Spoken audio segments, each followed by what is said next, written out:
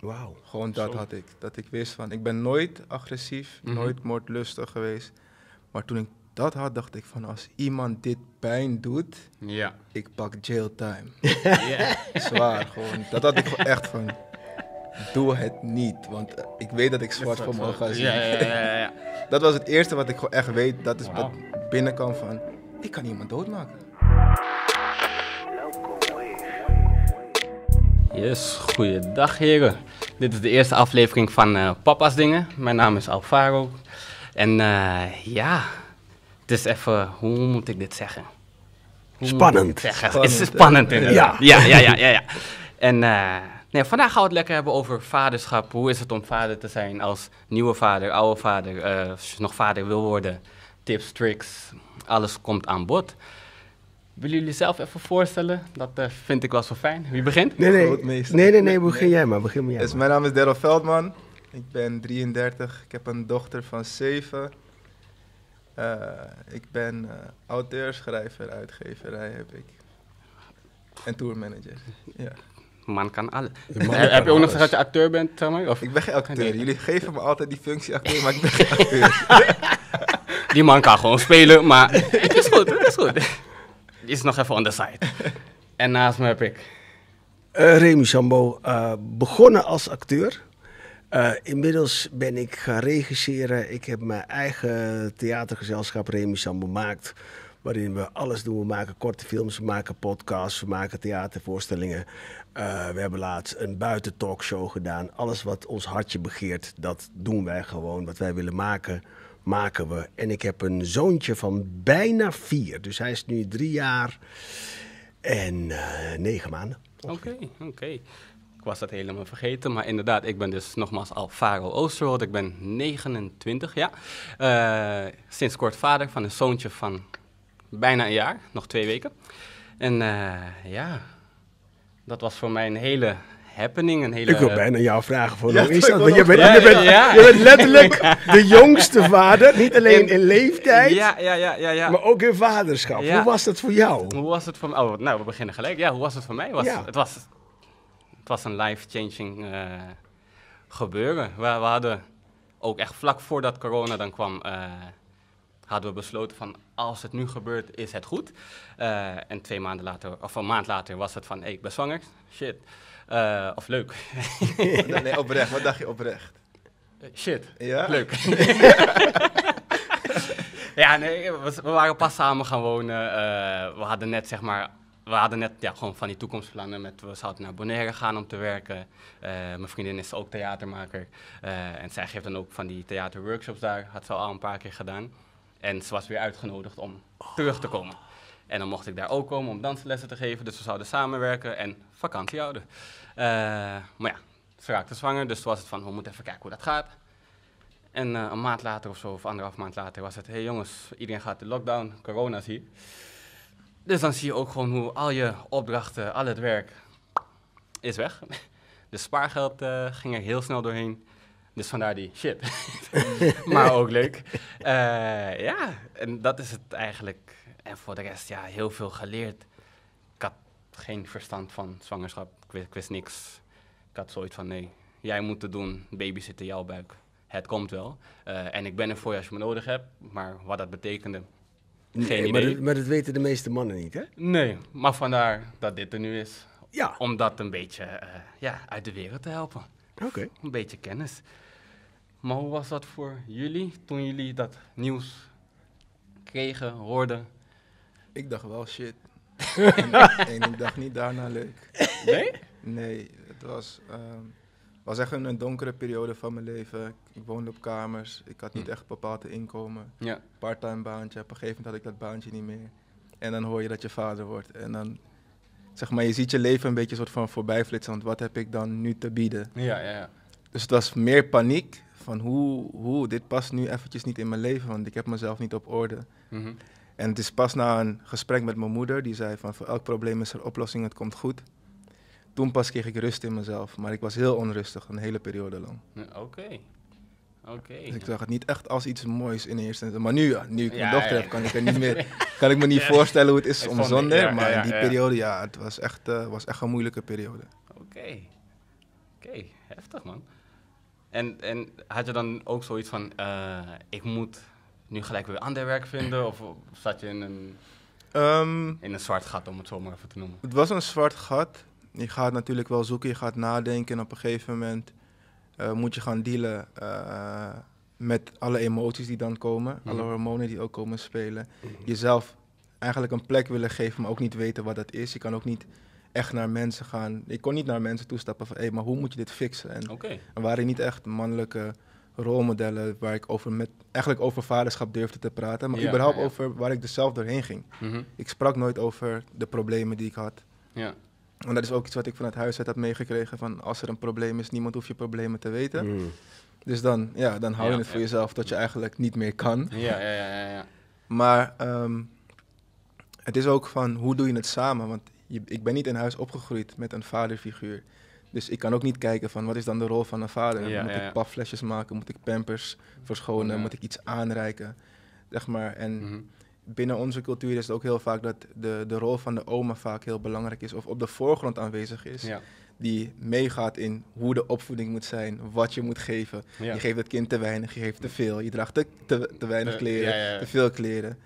Dus dat was dan ook iets waar je ermee moet gaan dealen van Ja. je eigen ontdekkingsreis. Maar ook dan weer horen van de ene oma hoe het moet, van de andere oma hoe het moet. Maar tegelijkertijd hoor je nergens wat de rol is van een vader. Precies, precies, precies. Dus dat was heel erg uh, zoekende. Maar ik wist wel dat de dag dat zij geboren werd, Mhm. toen moest ik, mocht ik mijn shirt uitdoen, mocht zij op me komen. En toen veranderde mijn leven. Er kwam een soort van ik weet niet wat, ik kan je niet in woorden omschrijven, maar er kwam rust, maar er kwam ook gewoon een doel in mijn leven. Ik kreeg Hmm. purpose. Ik had een reden Ja. om voor, ergens voor te leven, want Ja. ik ben nu verantwoordelijk voor iemand. Dat was echt een hele andere. Toen, toen veranderde alles direct. Wauw. Ja. Wauw. Ja, Ja, ja, ik, ik, ik ben, ik ben gelijk even sprakeloos. ja, ja. Ik, ik, her- ik herken ook wat je zegt. Ik ben zelf ook eh Surinaams, dus dat gedeelte dat de oma's, eh, of oma dan, eh, ook mee bepaalt, meedenkt, meekijkt. Ik vond dat zelf een beetje verstikkend. Ik had zoiets van, blijf Ja. weg. Ja, ja, ja. ja. Eh, en ja, ik, ik ben ook zonder vader opgegroeid, dus ik had ook niemand om naartoe te keren van, hé, hey, wat moet ik doen, waar moet ik op letten, bij wie moet ik zijn, Eh, hoe werkt dit, wat ga ik voelen, wat ga ik meemaken. Maar zijn jullie je hele leven zonder vader eh, opgegroeid of eh, tot een bepaalde leeftijd? Ik had een misconceptie van vaderschap. Zeg maar, gewoon heel eerlijk en open. Wij zijn buitenkinderen en we wisten dat heel lang niet, dat wij buitenkinderen waren. En mijn vader was er één dag in de week een avond dat hij langskwam. Eh, op de vrijdagavond was hij dan bij ons. Ik hoop niet nu dat ik zijn hele agenda van vroeger opengooi en aan blast gooi. Eh, niet kijken, Maar, niet kijken. maar ik weet dat, zeg maar, ja, maar we kennen, de- meeste kinderen hebben elkaar nu al leren kennen. Ja, ja. Dus we weten al van, deze man heeft een bepaald leven geleid eh, waar we niet van afwisten. Mhm. En tot mijn zestiende of zo was hij er af en toe een avondje. En ik dacht dat dat vaderschap was. Ja, ja, ja. Want ik vertelde dat op de baas altijd als trots van, ja, maar mijn vader, mijn vader. Maar Ja. hij was er letterlijk vrijdagavond om 8 uur en was vrijdagochtend om 6 uur was hij weer weg. Dat was dan mijn concept van vaderschap. En ik weet wel dat mijn moeder heeft nooit een, een dag slecht over hem gesproken. Als er iets was, dan wa- hielp hij mijn moeder altijd. Mhm. Maar verder, als ik er niet bij stilsta, Was hij er niet. was hij er eigenlijk niet. Ja, ja, ja. Omdat ik het niet kende, dacht ik dat dat het was. Ja. Maar nu ik het zelf ervaar, was het ook gelijk, toen mijn dochter er was, was het ook gelijk van, maar hé, hoe kan je zo met me omgaan? Gaan, precies. Dus ik keek ook gelijk bij de geboorte heel anders naar mijn eigen vader. Van, Ja. Wil die ons niet hebben? En hoe kan, je er, hoe kan je eigenlijk zo weinig zorg voor een kind dragen, terwijl ik zoveel liefde voel op dit moment? Ja. Ja, ja, ja. En ik heb uiteindelijk, eh, mijn beeld daarvan is veranderd op het moment dat ik met mijn oom sprak. We waren met een voorstelling bezig. En hij ging toen vertellen van hij is naar Nederland gekomen met de boot vanuit Suriname. En hij vertelde hoe hij het als man zijnde hier heeft ervaren Mhm. toen hij kwam. Hij zegt alles was anders, alles was nieuw. En toen pas kreeg ik een beetje begrip voor de route die vaders hebben genomen in die tijd. Hm. Ik kan niet zeggen dat ik die verantwoordelijkheid draag en ze niks kwalijk neem. Mhm. Maar hij sprak over hoe hij het in de jaren dat hij hier kwam heeft ervaren toen het sneeuw nog tot zijn knieën stond en dergelijke. En dat Ja. alle mannen haast eh, exotische, tropische verrassingen waren voor de vrouwen. Ja, ja, Dat heel veel mannen van zijn leeftijd toen ook aan de drugs ten onder gingen. Shit. Dus dat, toen op een gegeven moment dacht ik van oké, het leven van hun was anders dan het leven nu, maar vooralsnog Ja. Ja. Ja, Ja, ik- ik- de ja, Ja, ja, ja, Je zet me wel aan het denken, want ik, Ja. denk, ik, ik kan me voorstellen dat het leven anders was toen, maar het gaat over de verantwoordelijkheid Ja. voor je kind. En Ja. dan, ja, ik weet het niet. Ja, nee, maar precies. Ik denk nog steeds erover van, ja, ik heb hem wel geconfronteerd toen ik 30 was, moest ik van mezelf met hem gaan praten. En op een gegeven moment leek het op een soort van therapiesessie te worden waar ik er voor hem moest zijn, want ik hoorde al zijn jeugdtrauma's. Ja, ja, ja. En toen dacht ik van, ja, weet je, Hallo, hallo, het is andersom. ja, ja, dat, dat Ja, had maar waarschijnlijk had hij ook niemand om mee te praten. En dan was Ja. jij nu, En dat was eh, een klein beetje begrepen, maar toen op een gegeven moment dacht ik ook van, ja, je kan me ook niet verder helpen nu op dit moment. Ja, ja, ja, ja. Maar ik heb het in ieder geval bij je neergelegd. Ja. Ja. Ja. mooi. Wel mooi dat je dan ook nog die ruimte hebt genomen en die kans hebt gehad om dat Het was te lastig bespreken. hoor. Het Ja, dat een man ik. van 30 ziet zijn eigen vader, ik kreeg gewoon een brok in mijn keel en ik had 20 minuten niks om te zeggen. Ja, ja, ja. Dat we liepen, dat ik gewoon dacht, ik voelde me gewoon een kind van 6 die wilde vragen, mag ik een snoepje of zo? Ja, ja, ja. Ja. Ja. ja, maar hoe dan ook, ik- want dat herken ik dan zelf ook, dat ik... eh, eh, mijn vader was mijn alles, maar hij was er niet. Ja. Weet je, mijn ouders waren, ik was een jaar of vier of vijf, zijn ze uit elkaar gegaan. En eh, ja, vanaf dat moment was het mijn moeder, mijn zusje en ik. En als hij kwam, was het, want hij was wel weer teruggegaan naar Suriname. Eh, en daar had hij dan ook weer een hele, heel ander of heel nieuw leven opgebouwd. Eh, maar als hij dan weer in Nederland was, was het even met de verjaardagen of rond kerst of iets. En dan was het, hé, hey, ik heb een nieuwe fiets voor je gekocht. Dus jij bent gefixeerd op die fiets en je denkt, hé, hey, mijn vader is de shit, want ik heb een nieuwe fiets. Eh, en vervolgens vergeet je of zie je eigenlijk niet dat je hem dus drie, vier maanden daarvoor niet hebt gesproken of maar twee keer aan de telefoon. Maar de verbinding was slecht, want ik weet niet of je dat nog weet, dat je van die kaskaarten had toch? Ja, Met ja. die codes en dan, u heeft nog vijf minuten. Ja.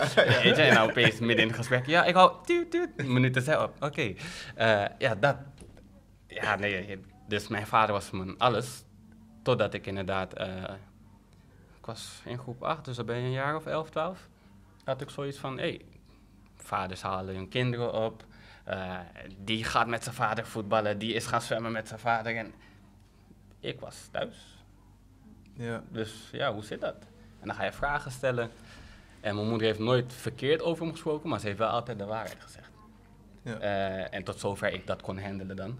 Eh, maar ze heeft wel altijd gezegd van, hey, hij is weggegaan en dit is toen zo en zo gegaan. Dus het is niet dat jij iets fout hebt gedaan, of jullie als kinderen, want dat heb je dan ook nog eens vaak. Dat je denkt, oh, doordat ik er ben of doordat ik toen mijn kamer niet had opgeruimd, is dat dan een issue. Maar dat heeft ze wel altijd eh, ja, weg, eh, weggehaald, dat gevoel. Maar nee, ik heb geen vaderfiguur als zodanig. Nou, ik, eh, ik heb tot mijn eh, twaalfde een vaderfiguur gehad, maar ik was lang blij dat mijn ouders uit elkaar gingen. Ik vond niet dat, het, dat hun samen zijn echt heel erg fijn was. Het was echt iets waarvan ik dacht van... Kijk, en het is niet eens zozeer... Het, het fijne van, van, van ouder worden is, is dat je de keuzes van je ouders gaat begrijpen. En in de tijd dacht ik, oh, je bent een slechte vader. Dat dacht ik echt als kind. Ja. Maar later kwam ik erachter dat hij gewoon deed wat hij kon. En mijn vader was heel erg, werd heel erg beïnvloed door zijn moeder. Hm. Eh, eh, dan krijg je het hele. Mijn vader is licht van kleur en mijn moeder is heel donker. Dus dan krijg je het hele gedoe van: oh jee, waarom ga je met een donkere vrouw? Ja, en toestand. dus die was, die was heel erg. Dus als kind, tot mijn twaalfde, toen kwam ik naar Nederland, toen begreep ik het allemaal niet. Toen dacht ik, wat, eh, wat ben je eigenlijk een nare vent. En ik ben iemand, toen en nog steeds heb ik gewoon een grote mond, dus ik zei het ook tegen hem. Ik was gewoon heel straight tegen hem. Maar later ben ik gaan begrijpen dat hij eigenlijk ook, hij heeft geen, hij heeft zijn vader niet gekend. Snap je? Dus, dus, dus die moeder, zijn moeder hield zijn vader weg. Van, dus hij had ook geen, geen, Ook geen beeld. Nee, weet je. En dan werd hij ook nog eens beïnvloed door zijn moeder. Eh, en later heb ik, ik weet het niet man, ik ben echt een soort, mijn vader is er niet meer, maar ik ben echt een soort eh medelijden, medeleven Ja, gaan ja, ja. hebben van, ik dacht van, damn, jeetje, jij hebt het ook niet, eh, jij hebt het ook niet makkelijk, gehad. Ja, Ja, ja. precies. Dat is wat ik dan voelde in het gesprek ook Ja. mijn vader. Van, ja, ja, je kan ook eigenlijk niet helpen als dit je jeugd is geweest. Ja, Ja. ja. Maar dit heeft er wel voor gezorgd dat mijn, mijn broer en ik allebei dachten van, wij gaan het anders doen. Ja, want ik heb wel eh, natuurlijk ook nog, want dit is heel fijn hoor, maar ik had wel een vraag. eh, en die gaat dan als volgt. Wilde je juist wel zijn, net als je vaderfiguur als je die had? Of juist weer helemaal niet, maar nu is het een beetje al beantwoord. Maar ik ga eerst terug, want Oh, je, hebt me niet, je hebt me niet gevraagd wat Ik ik, heb vond. Ja. Sorry, ik, ik zat zo in het gesprek, ik Nee, luister. nee, nee, is Ja, goed, maar ik doe het zelf. Daarom ben je hier. Nee, maar het grappige is, nee, ik, ik vind het heel leuk om naar jullie allebei te luisteren. Want ik had juist heel erg eh, eh, eh, dat ik dacht van, wauw, ik word, ik word vader. Ik heb het ook Oh, op ja, latere ja, ja, ja. leeftijd gedaan. Dus ik dacht, oh toch, want ik dacht, eerst dacht ik, ehm, als het niet voor je is weggelegd, laat maar gaan, niet doen, Mhm. accepteren gewoon wat het, voor wat het is. En eh, dit is met iemand waarmee ik samenwerk en uiteindelijk is het gelukt. Dus ik was echt helemaal een soort van, eh, wauw, en ik ga dit doen en ik ga dat doen. En ik drink één dag in de week. En ik dacht, ik ga niet meer drinken en dat soort dingen, dat soort gekke dingen. En ik vond het juist moeilijker toen mijn zoontje eh, er was. Dat vond ik moeilijker, omdat ik, een, ik had zo'n fantasiebeeld van hoe vaderschap zou zijn en hoe geweldig ik wel niet als vader zou zijn. Ja, ja. En helemaal niet nadenkend dat. eh, eh, kijk, ik, ik heb co-ouderschap. Mhm. Dus, ehm, en mijn zoontje sliep bijvoorbeeld het hele eerste jaar sliep hij niet. En de eerste zes maanden deden we het samen. Ben ik bij haar ingetrokken, hebben we het samen gedaan. Daarna ben ik gewoon naar mijn eigen huis gegaan. Maar als je alleen bent, ik ben, eh, ik ben alleen vader, weet je wel. Ja. En een kind gaat drie keer per nacht gewoon huilen. Nou, ik, was, ik, ik, ik, ik herkende mezelf gewoon niet. Ja, ja, ik ja. was niet het beeld wat ik had toen ik dacht van... hé, hey, ik, word, ik word papa. Ja, ja, ja, ja. Echt, ik was echt een soort zombie. En ik dacht echt van, waar ben ik aan begonnen? Het, ik, echt, ik dacht, is, is, is dit, het nou? Ja, ja. En dat, is, dat heeft echt gewoon eh, door vrienden van mij, die bij mij in de buurt wonen. Ik weet nog een keer op een zondag, hij kwam daar met het kind en ik was een soort, blijkbaar zag ik eruit als een soort zombie. En toen zeiden ze, wat is er met jou? Ik zei, ja, ik slaap niet en hij slaapt niet. En ik was echt een soort emotioneel. Ja, ja, ja. En toen zeiden ze van, laat maar hier, ga naar huis, ga slapen Ja. en kom dan terug. Dus zo regelde ik dat het hele eerste jaar. Wel fijn Om- van die vrienden, man. Zeker, zeker. Maar anders had ik echt... Het, het, het eerste jaar, ik vond het, ik, vond het, ik vond het bikkelen, man. Ja. Ik vond het echt, echt bikkelen. Ik vond het heel hard werken. Eh, eh, en wat ik net al zei over mijn vader, die was een andersoortig vader. Dus echt een voorbeeld had ik niet, behalve mijn broer. Die doet het echt fantastisch. Die heeft echt niet echt een goede voorbeeld gehad, maar die jongen die doet het echt fantastisch. Ja, ja. Dus ik besprak dingen met hem. En voor de rest wist ik niks van een kind. En dan ben je daar alleen met dat kind, die gewoon ook niet met je communiceert. Ja. En dat je denkt, Nou, hij- je kind communiceert, maar je verstaat hem niet. ja, ja, dat ja, ja, ja, ja, ja. Dus, duidelijk. dus ik vond, ik, bij mij was het juist daarna dat ik dacht van, poeh. Ja. Ik vond het, ik vond het eerste jaar vond ik, vond ik heel heftig. Er wordt en- vaak niet echt zo over eh, alleenstaande ouders gesproken. En nou helemaal niet over alleenstaande vaders. Van Inderdaad. hoe, hoe trek je dat? Hè? Want Ja. Dus eh, zeggen vaak bij vrouwen dat het al vanuit de baarmoeder een bepaalde instinct wordt gebouwd. Mhm. Maar Ja. als jij dat niet hebt Mhm. en ineens moet je daar staan. Maar geloven jullie dan dat je dat instinct zeg maar niet hebt? Als Nou, ik zou je vader zeggen, ik, ik, ik, ik Want ben... ik voelde dat wel. Nou, ik, ik ben echt. Het ga iets heel raars zeggen, maar ik ga toch zeggen. Ik ben mannen gaan begrijpen die ervoor kiezen om geen vader te zijn. Hm. Hm. Waarom? Omdat eh, eh, in mijn geval dan. eh, de moeder had gelijk een band. En als vader, als je niet open staat, open stelt, niet je borstkast, je kind op je borstkast Ja, ja, ja. laat liggen, niet een connectie maakt, dan kan je veel makkelijker gewoon ervoor kiezen om, om, om, om, om weg, te gaan. Ja. Omdat je moet als man toch een soort van... Je, je hebt niet het natuurlijke van een vrouw. Dat het meteen allemaal de natuur je meegeeft. Ik moest er in ieder geval heel erg voor werken. Had Ja, ik het ja, ja, gevoel. ja, ja, En toen ja. dacht ik... Oh, wat ik begreep het, daarvoor begreep ik het niet. Ik dacht, nee, je bent de vader, hoezo ga je weg? Je hebt je kind, dit en dat. En toen dacht ik, oh damn, dus als je niet investeert in die moeilijkheid, Ja. dan is de vlucht gewoon eigenlijk heel makkelijk. Ja, ja, ja. ja. Ik ben, en ik praat het niet goed, maar ik ben het wel gaan begrijpen. Ja, ja. Nee, nu Ja. je het zegt, eh, vat ik hem wel. Bij mij begon het juist, wat echt heel erg kwam, en het klinkt misschien eng, maar toen ik haar had, wist ik dat ik in staat was om iemand dood te maken. Wauw. Gewoon dat Zo. had ik. Dat ik wist van, ik ben nooit agressief, Mhm. nooit moordlustig geweest. Maar toen ik dat had, dacht ik van als iemand dit pijn doet, Ja. ik pak jail time. Ja. Zwaar gewoon. Dat had ik gewoon echt van. Doe het niet, want eh, ik weet dat ik zwart voor me ga zien. Ja, ja, ja, ja. Dat was het eerste wat ik gewoon echt weet. Dat is wat binnenkwam van, ik kan iemand doodmaken. Dat is wat ik dacht. Oh, heel raar. Ik kan iemand doodmaken. Oh, wow. Ja. Maar, ja, dat, dat- maar kijk, dat bewijst voor mij dan wel weer dat dat gevoel eh, er een soort van instinctief ook wel gewoon in zit. Ja, Dus maar wat dus jij die dan, niet, investering niet om is het te wel ontkrachten, geweest, maar dat, het, ja, dat je wel gewoon gelijk... Nee, maar hij vraagt over het Eh. gebrek van die investering. Maar die investering was er bij mij dus juist Ja, oké, wel oké, oké, ja. je maakt het helemaal mee, maar ook tegelijkertijd bij de geboorte reflecteer ik op mijn eigen leven. In, één, in vijf seconden gaat Ja, alles ja. direct door je Mhm. heen van...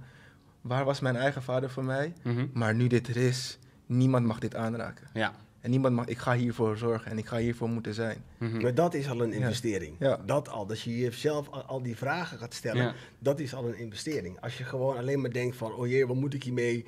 Dan, dan, dan, dan, dan investeer je niet, dan maak je geen connectie en dan kan je heel snel gewoon een heel hard weglopen. Ja, maar denken jullie dan ook niet dat het eh, eigenlijk een beetje in de maatschappij zo eh, is gebracht? Want net wat ik zei, of tenminste misschien hiervoor dan. eh, heel veel mannen die ik dan heb gesproken, of nou heel veel, ik heb geen onderzoek gedaan, maar de mensen die ik dan sprak om me heen, die zeiden heel vaak, ja oké, zij is zwanger, zij moet het doen. Eh, zij eh, moet persen en bevallen en ja, zorg ervoor dat jij niet flauw valt. Zorg ervoor dat jij niet eh, anders gaat kijken naar je vriendin. Want hey, als je ziet hoe groot het gat er allemaal wordt, omdat er een hoofdje erheen komt. Ja, Norman, je weet niet. Dat zijn de dingen die ik dan ook om me heen hoorde. Dat ik dacht van ja, er wordt ook niet echt ergens geleerd aan mannen om die emotionele band voor de zwangerschap zelfs op te zoeken. Er zijn niet echt dingen, volgens mij. Ik, ik- laat maar zeggen, ik ben niet echt op de hoogte van, van instanties waar je als jonge vader of, eh, naartoe gaat of als man zijn. Nee, nee, niet. Ja, oké, misschien niet echt wel- instanties, ja. maar ook gewoon in de sociale kring Ja. wordt dat Wat niet ik, echt waar besproken. ik wel echt merkte dat er niks is, echt niet echt aandacht is voor vaders. Was de eerste keer dat je naar een consultatiebureau Mhm. gaat, Ja. zit je erbij, maar het gesprek wordt alleen met de moeder gevoerd. Precies. Ja. Ze praten in de ruimte alsof jij er niet bent. Dus ik Ja. moest steeds gaan claimen. En op een gegeven moment deed ik iets waar ik achter kwam dat niet nodig was. Ik ging steeds mee om te laten zien dat ze niet alleen is en dat er wel een vader aanwezig is. Omdat ik niet dat die, ik weet niet of ik het idee had dat zij denken dat er heel veel vrouwen het alleen doen. Ja. Of omdat vaders niet kunnen, of omdat ze moeten Mhm. werken, of omdat ze gewoon niet aanwezig zijn. Maar ik was daar gewoon de hele tijd om te laten zien van, hé, hey, we doen dit samen en ik Ja, ben er ja. ook. Dus praat ook met mij. Maar het ging steeds maar naar... Oké. En op een gegeven moment, ik weet niet of ik één keer alleen ben gegaan naar consultatiebureau, of dat zij buiten bleef zitten en dat ik naar binnen ging. Dat kan ik me even niet meer herinneren, Mhm. maar het is zo erg vechten voor je plek. Ja. En om gezien te worden en gehoord te worden, maar Ja, ja, ja. Ja, ze, ze, ze gunnen je geen blikwaarde. oh, nee, ja, ik had dan een andere ervaring, maar ik herken wel inderdaad dat het echt van eh verloskundige naar de moeder is. Eh, en ik heb inderdaad ook de eerste paar keren, maar dat was ook onderling met mijn vriendin, dat ik zei van, hé, hey, want zij zei, ja, ik ben zwanger, ik heb nu dit, ik voel me niet goed, ik ben zwanger. Dat ik zei, oké, wacht, stop. Want als je alles voor jou gaat maken, gaat dit niet werken voor mij. Want ik wil ook inderdaad die eh, emotionele connectie al voor, van tevoren hebben. Dus we praten over wij zijn zwanger. Eh, want ik heb ook een aandeel hierin en ik wil ook betrokken zijn. En het voelt inderdaad alsof je me buitensluit. Eh, Als je de hele tijd praat over ik, ik, ik. Mhm. Het is misschien niet zo bedoeld, maar ik merk wel dat dat van binnen bij mij gebeurt. Ehm, en dat vind ik ook niet fijn, want ik wil ook dat ik naar mijn kind kan kijken met het idee, dit is mijn kind en niet, oh, dit is jouw kind en ik ben toevallig de vader of zo. Eh, dus ik denk dat heel veel mannen daar dan ook tegenaan lopen, ook bij een verloskundige inderdaad, dat je dan, eh, of bij een consultatiegesprek dan, dat je dan ook moet laten zien van, hey, ik ben er, ik tel mee en het is niet gek dat we samen zijn. Ja, en het, het, het, het trekt een klein beetje verder, want ik merk het ook op school. Dat het, eigenlijk als jij dan de ouder gesprek hebt, en zeker in de tijd van corona, dan mag je niet met, met beide Ja. ouders op, Mhm. aanwezig zijn. Dus dan eh, ben ik één keer gegaan. Maar dan voer, je, voer de docent het gesprek met jou alsof jij de boodschapper bent die Oh, de ja, moeder ja, moet gaan ja, zeggen. ja, Ja, ja, ja, ja. ja. Oh, van, jij bent nu even een soort post en PostNL, ja, ja, ja, ja, jij ja. hebt die informatie, zeg het maar, geef het door aan de moeder. Dat ik dacht van, hè? Maar waar komt dit vandaan? Ja, maar ja, ja. kennelijk leeft het zo erg in de cultuur, maar ik, ha- ik weet niet, man, het, het zit me niet lekker. En het stukje Oh, papadag. Wat vinden jullie van die term dan? Als je alleen met je kind op straat loopt en iemand komt met... hey, lekker papa-dag of wat dan ook. Of oppa- ben je aan het oppassen? Ja, precies. Ja, ja. maar zo klinkt Papa Ja. dag klinkt alsof je aan het Ja, oppassen want- bent. want- Dus want elke ik- dag ik- is ik- eigenlijk ik- ik- Papa ik- dag. Ik word giftig. Ja. Ik- Ja. Ik word giftig. Ik heb lang gecorrigeerd, maar op een gegeven moment, ik reageer niet meer, maar papa dag. Het is gewoon mijn kind, ik ben gewoon Ja. mijn kind. Ja, je bent, je bent gewoon 24-7 ben je gewoon papa. Ja. Dus het is niet Ja. echt zoiets als papa-dag. Dat vind ik, ja. vind ik Ja, ik, ik, had laatst, dan liep ik met een, eh, met, met een vriend van hem. En hij heeft dan ook eh, sinds kort een, eh, een dochtertje. Liepen we samen met de kinderwagen door, eh door Javastraat. En het moment dat we de Javastraat inliepen, zat iedereen met... Zie ik dit goed? Zie ik? Twee vaders met een kinderwagen. eh, eh. En dat het ook letterlijk was van... Oh, eh, moeder is eh, eindelijk even vrij. Heeft ze ook even rust? Ik zei... Nee, ze is nu lekker aan het werken. Dat is wat ze doet. Ik zeg, ik zit lekker thuis hoor. Ik weet niet waarover jij het hebt. En dan oh, oh, oh, oh. Ik dacht, ja, maar mag ik ook gewoon inderdaad in alle rust met mijn kind lopen? Het is niet dat ik inderdaad de oppasser ben. Maar je hoort heel vaak eh, soort van, oh, ik vind, ik vind het wel bijzonder dat je dit doet. Maar komt het niet vanuit Zo. het beeld dat, zeg maar, vroeger vaders die wel aanwezig waren, meer een passieve rol hadden? Zeker. Om in Ja. het krantje zitten Zeker. en moeder doet Ja, alles. ja, Ja. zeker, Maar, zeker. maar je zou bijna Ja. denken dat bij zo'n consultatie, consultatiebureau... dat men gewoon weet dat de tijden anders zijn. Ja. Snap je? Ja, het dus- wordt heel erg in stand gehouden dat je echt een soort van... je bent erbij, maar het gaat om, de moeder. En wat, wat ik ook merkte trouwens... eh, de moeder van mijn kind, die ging allemaal boeken lezen. Daar komen we misschien straks op. En, Ja, en, westerse boeken. gewoon hoe je een kind moet opvoeden en dat soort dingen. Ik werd echt helemaal gek. Ik werd echt helemaal gek, serieus. Nou, ik, ik kan met je meepraten. Ja, ja wat, je, wat je allemaal moet. Het, het, het, het grappige was dat, ik weet nog, want alles is ook heel erg gericht op het kind. Ja. En ik weet nog, de moeder van mijn kind zei van, oh, we mogen zo blij zijn met het kind. Ik zei, nee, nee, nee, het is andersom. Het kind mag eigenlijk heel blij zijn met zulke leuke ouders. Ja. En toen zei ze, oh ja, zo had ik het nog niet bekeken. Ik zei, het begint bij de ouders, bij de verwekkers. Mhm. En die moeten het goed doen en dat geef je over aan. Ja. Dus als je vaak boeken leest, dan, dan is het kind een soort uitgangspunt. Terwijl ik denk van, en, en dat, ook daarin vind ik dat er heel weinig rekening wordt gehouden met eh, eh, wat ouders, zeg maar, eh, meemaken met elkaar als, als vader, als moeder. Zeker, zeker. En dus dat vind ik echt een soort ding. En ook vooral vaders worden daarin vergeten, vind Ja. ik. Ja, ja, ja, ja, ja. Dus westerse boeken voor mij, echt als mensen me vragen van heb je tips, zeg ik geen westerse boeken lezen. Toevallig had ik laatst dus gevraagd, zijn er tips? En dat is wat jij ook zei. Ja, nee, Dat, ik, ik vond het zo, zo erg. Ik vond het de man uitsluiten en ik vond echt dat, dat eh, ehm, een kind, jij bent de, de, de, nou, de verwekker. Mhm. Het begint bij jou en jij, als jij niet in een goede gezondheid bent, eh, geestelijk en lichamelijk, eh, is dat wat je gewoon over, overbrengt op je kind. Ja, Dus dat wordt heel vaak gewoon, vind ik, vergeten. ja, ja, ja. Nee, helder. Ja, nee, ben het ermee eens. Ik heb, eh, mijn vriendin las ook dan een paar boeken. En dan was het ook van, oké schat, we moeten even zitten, want ik heb gelezen dat, ik zeg maar even wat hoor, eh, als ik zoveel eh, appels op een dag eet, dan komt dat dan ook weer in, die, in mijn moedermelk en dan is het ook weer goed voor... Ik dacht van, moet ik nu een hele schema bijgehouden over wat je wel moet eten, niet moet eten, waar we wel naar moeten kijken, niet naar moeten... Mag ik ook gewoon even voelen en Ja, het verpesten? maar die, die ook, En dat je gewoon kan die voelen. constante strijd, eh, ja, ik maak het nu heel zwaar, maar die constante, eh, eh, dat constante gesprek van oké, ik heb dit gelezen, dus dit weet ik en mag ik ook gewoon even voelen, is nu dan wel wat... heel- heel iets is- is wel wetenschappelijks. iets- ja, ja, en dat, dat, dat, dat, dat stoorde mij heel erg, want ik had dan in de, eh, in de zwangerschap vooral dat ze heel veel las.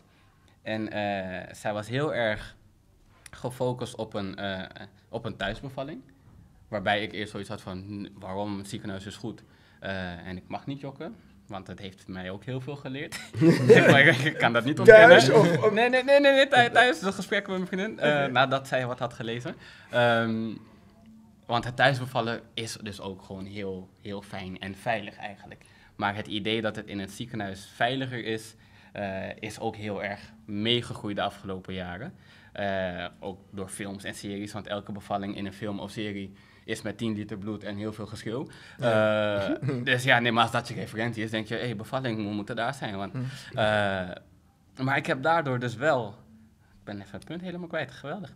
Eh, het gesprek heeft er dus wel voor gezorgd dat ik meer begrip kreeg voor haar, maar dat we dus wel een middenweg probeerden te vinden Mhm. met wat heb jij gelezen en geleerd en wat voelt goed voor mij. Ja. Want mijn vriendin is dan ook nog eens Nederlands, dus dan hebben we ook nog eens twee culturen waar die, die clashen. Dus dan is het ook weer, ja, ik heb dit meegemaakt van mijn ouders en mijn vader deed het zo. Ja, ja, ik had geen vader, dus eh, ik wil het dan ook maar even uitvogelen, maar ik ga, mij, eh, jouw vader is niet mijn voorbeeld. Mhm. Dus dat is dan ook nog weer een ding wat de hele tijd gaande was. En ik heb inderdaad vrij weinig gehoord, want ik moest dan ook boeken meelezen of uh, Ja, hoofdstukken moest- meelezen. Moest ik ook, ik deed het niet.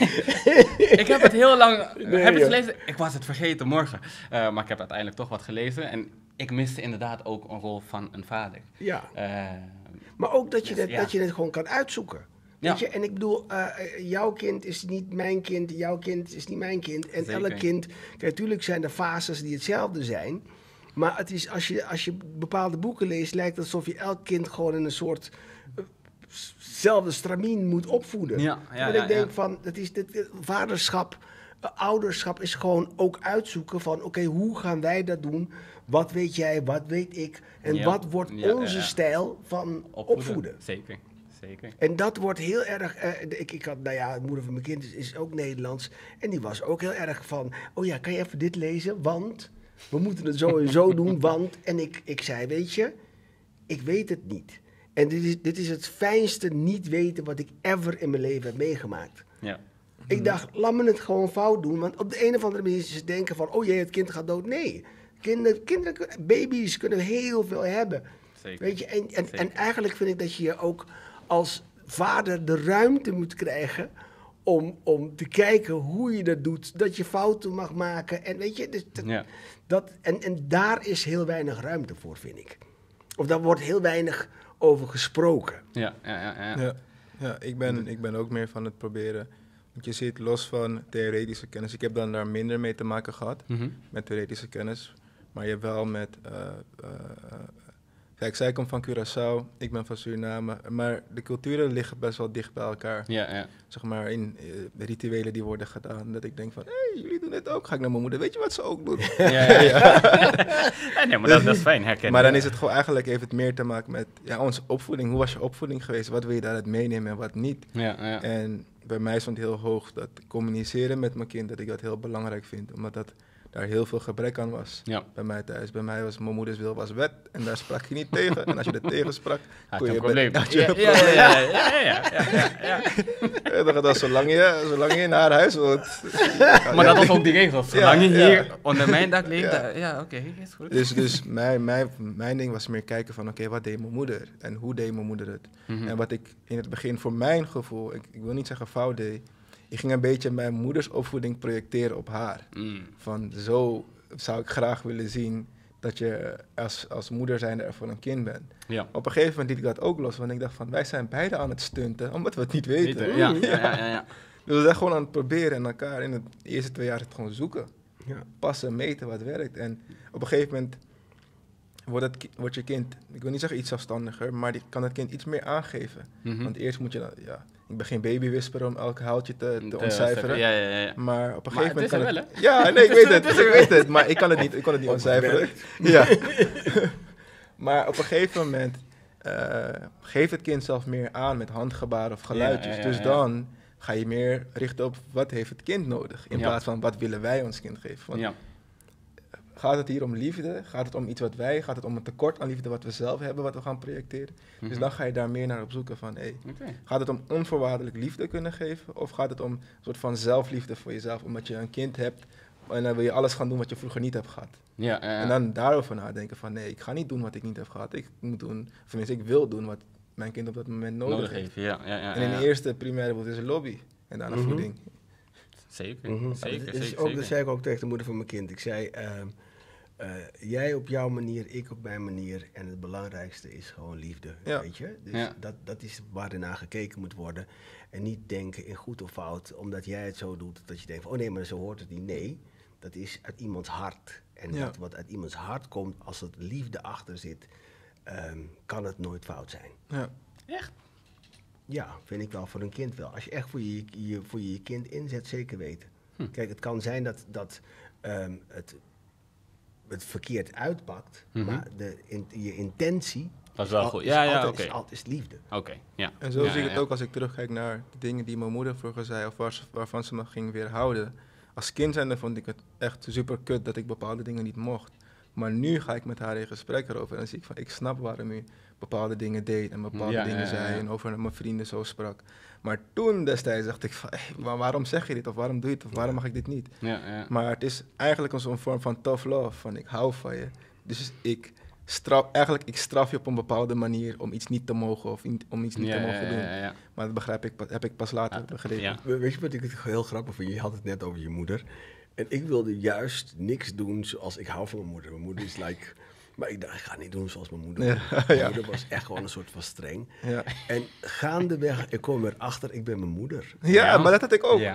Dat had ik Echt. ook. Ja. Ja. Echt ook in de manier waarop ik eh, met hem praat, de koosnaampjes, eh, de melodiering van de koosnaampjes. Dat deed mijn moeder allemaal bij mij.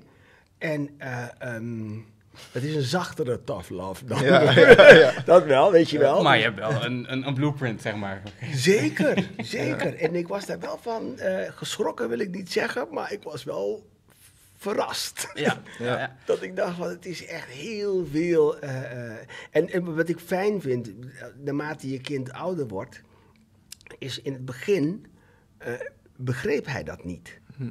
Dus, dus, dus hij is drie dagen bij mij en vier dagen bij zijn moeder. Mhm. Dus, eh, eh, en, ehm, en, en het is geen waardeoordeel wat ik nu ga zeggen. Maar bij zijn moeder is hij gewoon veel vrijer en dan kan meer. En dan is het echt, hij, hij bepaalt. Ja. En, eh, en ik hoorde net voorbij komen, zolang je onder mijn dak ligt. Het, het is bij mij echt zo, dat ik denk van, je mag veel, maar er zijn gewoon bepaalde regels. Ja. En eh, eh, ik weet nog, op een gegeven moment kwam een buurman bij me thuis en zei ze van... Oh, alles staat er nog, je hebt niks weggehaald, dit en dat. Want kinderen horen overal aan te zitten. Ik zei, nee, Nederlandse kinderen horen, die zitten overal aan. Ik heb met mijn kind afgesproken, eh, dit is van jou, dit is van papa. Ja. Vanaf zijn elfde maand, ik heb alles laten staan. Mijn kind komt nergens aan. En het is, dat is gewoon een afspraak. Dat kan je gewoon met, Ja, met hem ja. afspreken. Dus ik hoef hem ook niet te schreeuwen of wat dan ook. Omdat ik gewoon echt, ik leg hem dingen uit. Ja, dus ja, het is ja. de mildere versie van mijn moeder. Want mijn moeder schreeuwde me wel. Ja. Dat wel. Ja, ik, had, ik had wel echt dat ik, volgens mij tot haar tweede jaar, dat ik wel echt merkte dat, dat ik communiceren lastig vond. dat jij communiceert Ja, lastig dat ik communiceren lastig vond en dat ik toen dacht van, volgens mij doe ik gewoon precies wat mijn moeder deed. Niet communiceren, Ja. gelijk remmen, gelijk straf, gelijk aanpakken. En geen ruimte geven voor, hé, hey, dit kan niet, want... Ja, ja, ja. En pas later, toen zij dat zelf aangaf. Zij, zij begon zeg maar op een gegeven moment zelf meer te praten. Doordat zij bepaalde dingen aangaf, ben ik naar mezelf gaan kijken van Hm. nee, ik moet meer. Ze is heel erg gevoelig. Ik, ik weet niet hoe, ver- in hoeverre jullie in astrologie vol- eh, geloven, maar ze is tweeling, dus ze kan heel erg snel schakelen in, in emoties. Ja. Dus toen dacht ik van nee, zij heeft een hele andere aanpak nodig. Ik kan niet doen wat mijn moeder deed. Ja, ja, ja. Want volgens mij zitten er bij mij ook een paar kabels los. Dus daardoor. Maar ja, ja, ja, ja. dus Ja. toen pas ben ik echt meer gaan communiceren met Ja. haar. En gewoon meer, zeg maar, nu zij krijgt haast geen straf. Omdat ik er meer erop wil wijzen van, wat jij doet heeft gevolgen. Ja. Dus wil je die gevolgen niet, doe het niet meer. Ga maar lekker spelen. Ik, Ja. heb, ik heb één keer heb ik Ja, mijn ja, ja. zoontje gestraft en ik heb echt heel, ik, voel, ik heb me er zo rottig over gevoeld. Echt gewoon, omdat ik, ehm, ik heb liever gewoon, wij praten over dingen, nu Mhm. al gewoon. Ja. En als, als we boos zijn, de, we gaan niet zo slapen. Nee. Er moet eerst gehukt worden, we moeten in een goede energie, Ja. moeten we gaan slapen. Dus ehm, ik merkte dat juist door het praten, juist door het uitleggen, ehm, ik, eh, ik wil niet zeggen dat, dat ik het anders doe dan wat ik heb meegekregen. Meegemaakt. Ja, ja, ja, maar. In, de, in, de, in, de, in, de, in het bepalen van de regels, daar ben ik echt heel erg mijn moeder. Hm. Maar het praten met een kind, dat is trouwens ook iets wat ik heel erg mis bij überhaupt onze cultuur, hoor. Moet ik heel Ja. eerlijk zeggen. Ja. Ja, nee, dat eh, herken ik ook. En ik, eh, want ik praat nu zelf ook heel veel met hem, of wij praten wel heel veel met hem. Eh, en ik heb, doordat ik ben gaan dansen eigenlijk, eh, heb ik dus inderdaad geleerd om mijn emoties meer, eh, eh, eh, ja, meer te uiten en dat ook te bespreken. En ik merk nu dat ik dat nu heel goed meeneem, vind ik zelf heel goed, meeneem naar het ouderschap. Want hij is dan nu elf maanden inderdaad, maar vanaf dag één was het oké, we gaan nu dit doen, ik doe nu dat. En hij begrijpt er niks van. Maar doordat we praten, merkte hij wel dat er iets zou gebeuren, waardoor Mm. hij ook weer rustiger was. Ja. Nu zit hij in een fase dat hij denkt, ik wil alles de hele tijd zien en eh, vasthouden en ontdekken. Dus verschonen is echt een ramp. Maar als we hem dan weer aankijken en zegt van, hé, hey, nu even niet, blijf even liggen. En dan mag je weer. Ligt hij gewoon letterlijk Ja. vijf minuten weer stil en dan kan ik alles doen en zeg kijk, zie we zijn klaar. En Ja. dan gaat hij weer. Ja. En ik denk dan, eh, als ik dat niet zo zou doen, inderdaad, van, lig, eh, ja, da- da- dan wordt het weer een... Ik heb, uiteindelijk heb ik mijn moeder wel niet per se ermee geconfronteerd. We hebben een tijdje geleden hebben we wel erover gesproken met mijn zusje en ik. Oké. Gewoon over hoe we zijn grootgebracht en dingen die we misten en jammer vonden dat ze zo zijn gelopen. Toen heb ik er ook gevraagd van de dagen dat je ons echt gewoon eh, pedagogisch onverantwoordelijke tikken gaf. Wauw, Mooi deze verwoord. man. Mooi verwoord. Ja, echt heel mooi verwoord. Ja, ja, ja. Hoe dacht je daar dan over? Zei ze, ja, soms zat ik gewoon en dacht ik van, ik had het niet zo moeten doen. Want dan zegt ze, dan ligt ze en dan kijkt ze naar ons en zegt ze van, ja, het is misschien haar eigen frustratie geweest. Ja. Wat zo. En toen keek ik ook weer heel anders naar mijn moeder. Ik denk van, ja, als haar, voor haar was het ook lastig. Twee kinderen alleen in die Ja. tijd van toen. Mhm. En dan ook een baantje hebben, misschien op de werkvloer jezelf niet helemaal oké voelen. En dan moet Ja, je thuiskomen en dan die kinderen lastig. Ja, ja, Ja, ja, het, het was ja. echt veel. Dus dat heb ik er ook gegeven van. Ik neem je niks kwalijk, want je Mhm. hebt alles gedaan wat je kon. Maar alleen soms vond, was ik een beetje bang. Ja, ja, ja. ja, ja, En, en dat bedoel ik dus met die Ja. westerse boeken. Hè? Ja. Het is dus helemaal heel erg gericht op het kind. Ja. Maar dit is ook zo belangrijk voor de ouders. Ja. Dat zeker als je alleen bent, twee kinderen hebt. Al, het is, het is, het is, Het is, heavy. ja, het is heavy. Het is echt Ja, heavy. Het is echt heavy. Ja. Dat, eh, Dus, dus mijn beeld is ook helemaal veranderd van wat ouderschap is. Gewoon, Ja. Nu ik naar mijn moeder kijk, kijk ik gewoon heel anders. Gewoon eigenlijk, je hebt al respect, maar dat is een vorm van respect wat was afgedwongen. Mhm. Maar nu geef ik het Ja, erop tuurlijk. recht van, Ja. hey, ja, ja, ja, ja, ja, ja, ja. van, hey, dit is het, dit is het. dit is- Zelfs als ik een dag alleen ben met mijn dochter, dat ik ook denk van, damn, ik moet nu ook gaan koken. Maar hoeveel tijd zit er tussen het koken? En ze moet eten, ze moet op tijd eten. Want het- het- ze moet zo naar bed. Hey, hey, die schema's? Nee, man. Voorheen was het inderdaad opstaan. Hey, wat is er? Ja, is goed. Eh, eh, ja, oké, maar nu? En er is eigenlijk, er is iemand hier aan tafel die mijn leven ook ander inzicht heeft gegeven. En dat is Remy. En hij weet het niet eens. Het was, we hadden een repetitie. Oh, En ik heb wauw. eigenlijk ik, ik, altijd- Ik, ben even... Ja. Oké. En ik ben altijd, jij hebt echt mijn leven een ander inzicht gegeven. Ik ben altijd iemand geweest, als ik werk, werk ik en dan kan ik niet. En we Hm. waren bij die repetitie van 10 tot 4. En toen zei jij, het is drie uur, ik moet mijn zoon van school halen.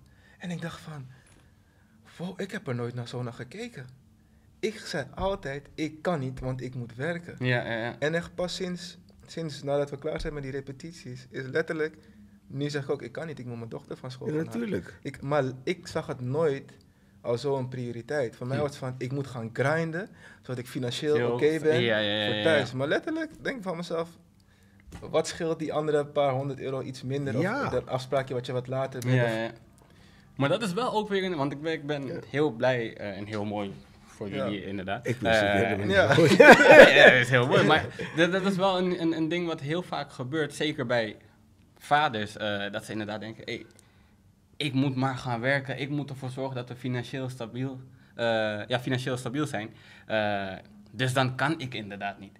Want dit hoor ik ook vaker. Dat ook- hey shit, ik moet werken, ik moet werken, ik moet werken, ik moet werken, ik moet werken. maar het is zo... Ja, maar het is ook weer een stukje dat, dat het liefde geven en de verzorging, eh, dat dat dan weer bij de moeder wordt neergelegd of automatisch daar ligt. Nou, En dat jij daar dan niet aan kan bijdragen. Het, het is heel grappig, want de, de liefde van mijn vader heb ik eh, ervaren in het krijgen van dingen, in het werken en dat ik dingen kreeg. Ja, dat was zijn manier van liefde geven. Terwijl, eh, ehm, nou ja, we- we derde net zei wat voor mij heel normaal is. Ik denk, ik heb het hele eerste jaar bijvoorbeeld, heb ik op de vrijdagen gewoon niet gewerkt, want ik wilde gewoon op de vrijdagen wilde ik er voor hem zijn. Het heeft zelfs een jaar en acht maanden geduurd voordat ik gewoon ben gaan werken weer op de vrijdagen. En ik verdiende minder, maar ik wilde gewoon mijn kind meemaken. Ja. Daarna, ehm, eh, het is wel zo, Daryl, dat ik moet zeggen dat ik het allemaal plan.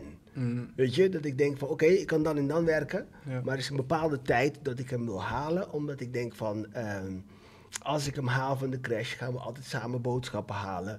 We gaan samen koken. Ja, ja, en voordat je het weet, moet hij weer naar bed. Ja. Dus die tijd wil ik gewoon, wil ik gewoon hebben. Ja. ja. Dus overal waar ik kom, dan zeg ik oké, hartstikke leuk en aardig. Maar ik stop dan en dan. Ja. Ja, ja, ja. Want ik heb gewoon die tijd nodig. En ik wil gewoon veel meer voor hem zijn dan alleen maar de hardwerkende papa die dan leuke dingen. En toevallig in het weekend eh, dan zijn kind voor een dag ziet. Ja, Ja. Ja, maar Ja. Dat, toen ik tot dat besef kwam, toen ik het eigenlijk... Het was eigenlijk iets heel raars, omdat ik gewoon, zeg maar, voor mezelf altijd mijn werk als prioriteit heb gezien. En altijd, zeg maar, bij, bij de moeder neerleg van, oké, maar dan check eventjes of het anders kan. Of dat ze daar naartoe kan gaan of daar. En ik, ik greep eigenlijk pas in als ik een optie hoorde waar ik niet achter stond. Dus dat ze naar een oppas ging voor bij een vriendin van haar. Dat ik dacht van, Mm. maar zo wil ik niet per se dat mijn Ja, kind ja. rondgaat als er geen tijd is. Dan ga ik zelf. Ja, ja, ja. Maar ik merkte dus nu, eh, ze zit in groep 4, dus zij praat ook heel veel over haar gevoelens. Dus vaak is het, papa kan je me ophalen? En dan zegt papa kan niet. Oh. En dan zeg maar, dat gaat zo naar binnen. Ja, ja, ja, ja, je ja. kan er dan zeg maar, Ja, je ja, kan er niks aan doen. En op een gegeven moment zei haar moeder ook van, hey, ze praat echt heel veel over dat ze graag wilt dat je haar komt ophalen. Ja, ja, ja. Dat jij daar ook zat. En toen ging ik terug naar mezelf als kind zijnde, als jonge voetballer, dat ik langs de lijn stond, dat ik ook graag wilde dat mijn vader daar stond. Gelijk veranderd. Ook als hij me belt van papa kan dit of kan dat. Ik ben er gewoon direct. Ik, denk ik zou gisteren bij een boekpresentatie zijn eh, van, van, van, van Gershwin's nieuwe boek. En zij had ook zoiets van, ja, kan ik dan met jou zijn eh, vandaag? En dat was gewoon gelijk, oké, dan zeg ik dat af, man, dan ben ik met jou. Ja. Gewoon dat ik dat ook echt geef wat zij nodig heeft. Want op een gegeven moment, als ik niet zo investeer, kan ik wel denken dat ik werk voor haar toekomst. Maar Mhm. aan het einde van dit, misschien zit ze niet meer op te wachten. Zegt ze, nooit stond je hier. Je bent er niet eens Nee, voor nee, me. klopt, klopt, Ja. klopt. Ja, Klopt. dus, dus daarom heb ik dat eh, eigenlijk, Lekker. door jou ben ik gaan switchen. Oh, wauw. Ja. Wauw. Wauw. Ja. Ja, nee, dat is mooi. Hoe erg is jullie kind een spiegel voor jullie?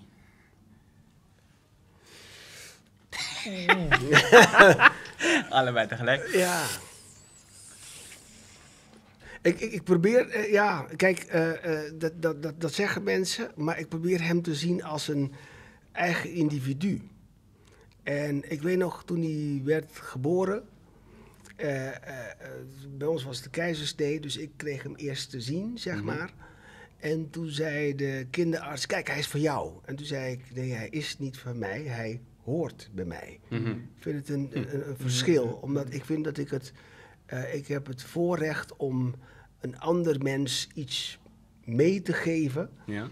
opdat hij een zo'n mooi mogelijk eigen mens wordt. Dus ehm, ehm, in hoeverre is hij een spiegel... Ehm, ik ervaar dat niet zo. Ik probeer echt gewoon te kijken naar wie hij is, eh, hoe ik hem kan begeleiden in zijn leven. En ja, sommige mensen zeggen, ja, hij is temperamentvol, dat ben jij, ben jij ook. Dat kan en zal, maar ik ervaar, het niet als, ik ervaar hem niet als een ego-document. Ik ervaar hem echt als ehm, nou, iemand die ik mag begeleiden in dit leven. Mooi. Ik hoorde laatst ook eh, hoe je zegt, een, een kind is op zichzelf staand en wezen van zichzelf. Zei een vriendin van me ook dat, eh, en ik ben zelf niet eh, gelovig dan in de zin van christelijk. En toen zei ze dat een pastoor een kindje niet ging dopen, omdat hij zei van laat het kind zelf bepalen wanneer hij ouder is. Want dit is nu een keuze van de ouders, maar Ja. als het kind er niet achter staat. Toen dacht ik van, hé, die hoor ik voor het eerst. Ja. Ja. Dat het zo gaat van, keuzevrijheid voor later. Mhm. Of je welk Of je geloof je wel wil wil- kiezen en of je überhaupt ja, ja. wil geloven. Maar voor jou, is, is je kind een spiegel voor jou? Ik denk dat. Qua ik, zie het ook, ik zie haar ook gewoon als een, een persoon van zichzelf. eh, die ik mag begeleiden. En dat ik elke dag hoop dat ik er lang genoeg mag zijn om haar te kunnen begeleiden. Eh, dus daarom spreek ik ook heel veel dankbaarheid uit. Maar wat ik wel merk en voel, is dat zij me weer de oude vorm van liefde teruggeeft. Omdat zeg maar, als kind zijn, dan ben je op sommige momenten nog een beetje onbevlekt.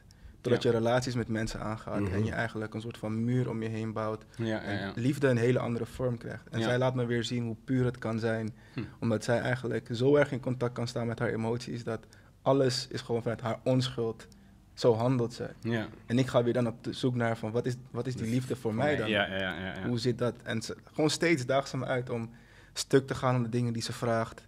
Gewoon levensvragen waar je denkt van, oké, maar hoe ga je dit aan een kind uitleggen? Ja. Gewoon heel Ja, ik erg. kan dat niet wachten gewoon- op dat moment. Ja, dat ze gewoon prikkelt, ze prikkelt je en ze houdt je, ze houdt je gewoon bezig. Van, hey, hey, zo heb ik er nooit naar gekeken, man. Gewoon ook als het gaat om die dingen die in haar belevingswereld spelen, reflecteer ik op mezelf dat ik dacht van, ja, maar zo simpel is het eigenlijk. Ja. Ja. Ja. Dus Ja, dat is eigenlijk hoe ik het ervaar. Maar ik zie haar eigenlijk als iemand van zichzelf en dat ik haar mag begeleiden tot, Ja. een, tot, een, tot een, de persoon die zij wil zijn. Ja, ja, ja. Nou, ik, ik zeg wel, het is mijn zoon, maar in de zin, meer in de zin van hij hoort Bij, mij. Ja, het ja, is ja, ja. geen, ik wil hem niet zien als bezit. Dat, Ja. dat Ja, vind nee, ik nee, een nee, nee, hele, eh, eh, dat zie je vaak bij ouders. Oh, mijn kind dit en dat. En ik Ja. denk, ja, je moet het kind ook ruimte geven om, om te zijn. Ja, ja, ja, ja, Dus ja. Ik, ik, eh, ik probeer zoveel mogelijk eh, te kijken naar het kind en Mhm. Dat gewoon een bepaalde kant op. op te sturen. Ja. Ja, ja, ja, ja. Dus dat je dat weet, dat je niet Nee. dat je- alvast. dat- ik zeg niks, ik zeg hoe, hoe, hoe zie jij dat? Ja, nu... eh, ja, hij, hij kan nu iets meer dan een paar maanden geleden. Mm. Eh, dus ik zie nu ook steeds meer karaktertrekjes wel weer naar voren komen waarvan ik denk van, oh ja, zo ben ik ook. Of ik zie dat het die kant op kan gaan. Eh, en dan ook weer ik dingen van zijn moeder gewoon heel erg terug. Maar dat is denk ik ook omdat wij letterlijk een heel jaar eh, alles alleen hebben gedaan. Ook gewoon omdat we binnen zaten. Eh, we hebben wel gewerkt hier en daar, maar we, we hebben heel veel gewoon echt samen kunnen doen. Omdat ja, lockdown, werk was weinig, dus dan heb je niks anders. En de crash was dan ook geen noodzaak. Ehm, dus zo zie ik wel heel vaak als hij op een bepaalde manier kijkt of reageert. Van, oh ja, dit heb je bij je moeder gezien, oh, dit heb je bij mij gezien. Eh, dus in die zin herken ik mezelf dan nu nog wel heel erg eh, in zijn manier van doen en laten. Maar ik laat hem ook wel vrij in hoe hij eh, naar dingetjes kijkt of hoe hij op dingetjes reageert. Dus tot zover eigenlijk nu, want ja, echte gesprekken heb ik nog niet met hem. Nee. Dus dat, eh, zeggen, dat is een van de meest prachtige dingen die er zijn, man. Echt gewoon een gesprek kunnen voeren Ja, met... Ja, ja, het is echt... Ja, maar niet te veel vertellen, want je dat? Ik, ik wil, Nee, niet voor is- me ik ga je spoilen, zeggen, maar... het is, het is, het is, het- je gaat het zelf ervaren, je gaat het zelf Mhm. op je eigen manier ervaren. Niemand kan je... Mijn ervaring gaat niet, gaat hetzelfde tekort doen zijn. Ja, aan, ja, ja. ja. aan wat jij zelf gaat voelen. Maar het feit dat je gewoon kan zitten ja man. en dan gewoon kan praten en vragen krijgt en antwoord kan... Ja, het is... Ja, ja, het is ook dat ik dat mijn zoontje is, is drie. Ja, en dan- ja, en soms- helemaal. Ja, ja, ja. Het is, het is echt, het wordt, het wordt namelijk alleen maar leuker. Echt. En soms zegt hij iets en dan geef ik antwoord en dan zeg ik, nou, maar volgens mij is het niet zo gegaan. En dan zie ik hem kijken. Nee, maar papa, kijk, weet je, want als je, dan komt hij gewoon Ja, met ja. een bocht. Wachten Ja. om het alsnog... Ja Ja, ja, en dat ik denk van, damn, wat leuk. Ja. Echt, dat we gewoon op de bank zitten en dan zitten we gewoon tekenfilms te kijken. Kijk, tegenwoordig heel veel tekenfilms door hem. En ze zegt, oh papa, kijk, die doet dit en dat. Dat je echt gewoon met iemand in, in gesprek gaat en dat die vraagt van, oké, wat, wat eten we vanavond? Of wat gaan we Ja. gewoon klaarmaken? Het is zo, het is zo gezellig. Ja, het is, het is en Echt? Ook, echt ook over nu. Volgens mij, we zaten laatst bij de kapper. Toen zei ze ook van, eh, ze had het over de tandenvee. En mijn zusje is heel erg met, dit bestaat niet, dit bestaat niet, Oh, ik ja. doe dit. Maar gewoon niet nadenken, gewoon, zeg, leg die kinderen niks uit. Maar zij zegt dat gewoon uit zichzelf. Ja, maar tante zegt dit, maar ik geloof in alles. Ze moet het niet verpesten, laat mij gewoon mijn ding doen. Ah.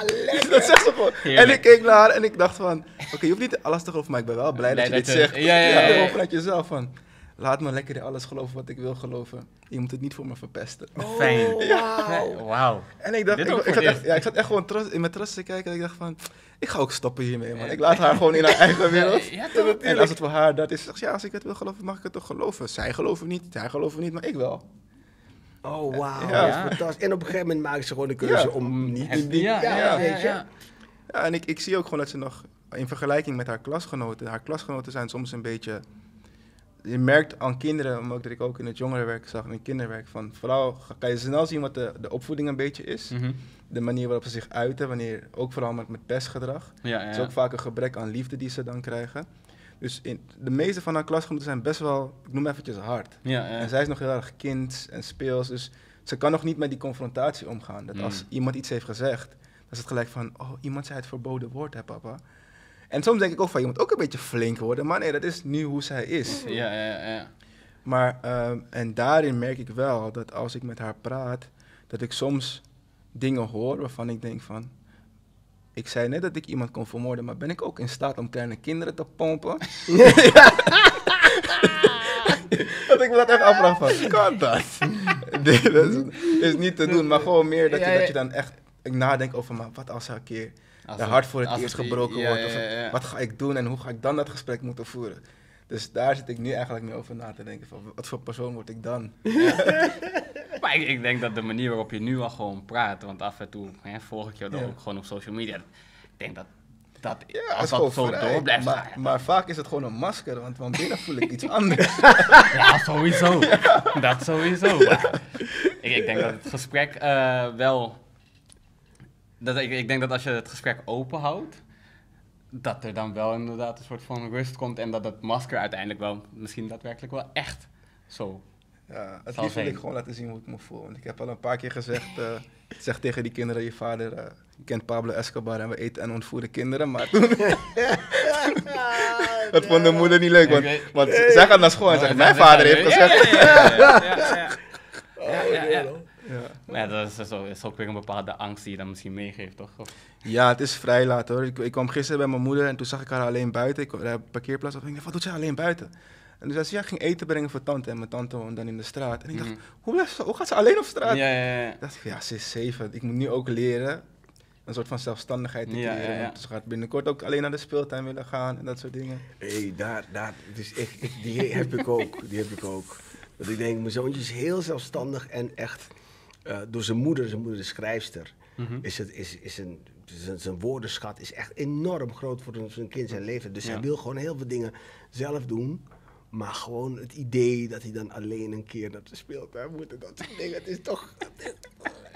Ik, ik moet er nog, ik moet Ik er nog in. even- Zo'n ja, dingen ja. moet je meegeven, maar zo'n babyfoon, hoe noem je dat? dat Ja, ja, ja, ja, ja. Kijk, kijk, heel mooi. Sorry, ik, ik onderbreek hem, maar ik had jullie inderdaad nog eventjes gevraagd om een, een, een, een, een voorwerp mee te nemen wat symbool staat voor de relatie met je kind of eh, Ja. wat, wat jij met je eh, ouders had.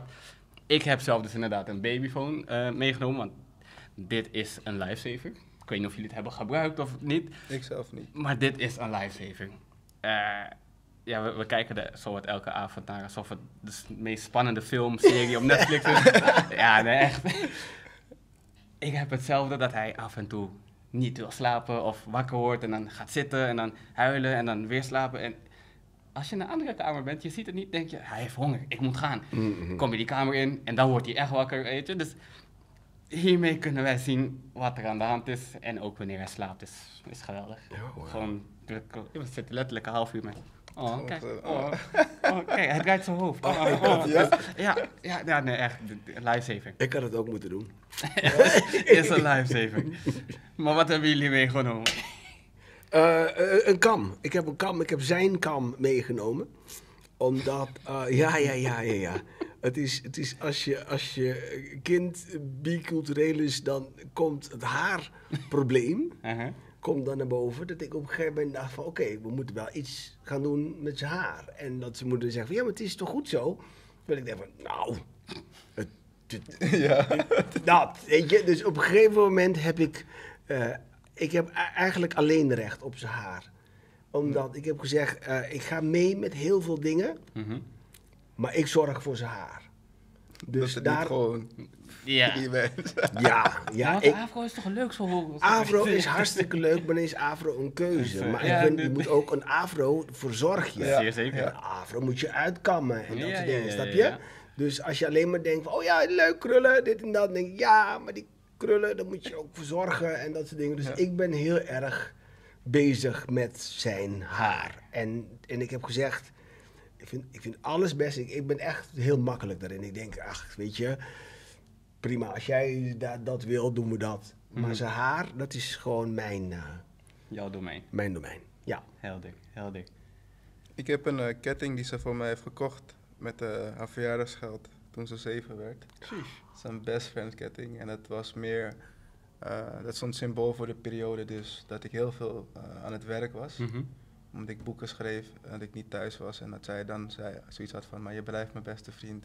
Als je dit bij je hebt, dan eh, ben je niet alleen. Dus dat, was, eh, dat is waarom ik deze bij me heb. Oh, wauw. Ja man. Ja, ik, ik denk dat dit ook de perfecte afsluiting Ja, is. Dit, eh, Want anders gaan we een beetje emo Ja, ja, ja, ja, ja, ja. ja, ja, ja. Emo zijn is oké, is oké. Ja, ja, ja, maar, ja, ja. Ik moet het ook allemaal even verwerken. Nee, ik wil jullie echt hartelijk bedanken voor jullie tijd, energie, de mooie woorden, de wijze lessen. Ja. Eh, zo, Remy, dankjewel voor vandaag. Daryl, bedankt voor vandaag. Ja, bedankt voor de uitnodiging. En de beste mensen die eh, dit hebben gezien, gehoord, dank jullie wel. En tot de volgende aflevering.